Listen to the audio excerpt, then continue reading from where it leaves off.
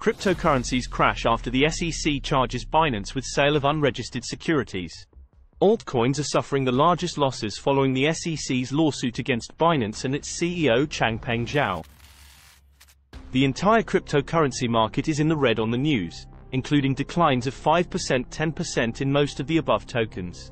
Crypto tokens deemed as securities by the SEC. Binance's BNB token and its BUSD stablecoin, but also Solana, Cardano, Polygon, COTI, Algorand, Axie Infinity, Filecoin, Cosmos, Sandbox and Decentraland. The world's largest cryptocurrency by market cap, Bitcoin was recently down 5% to trade at $25,800.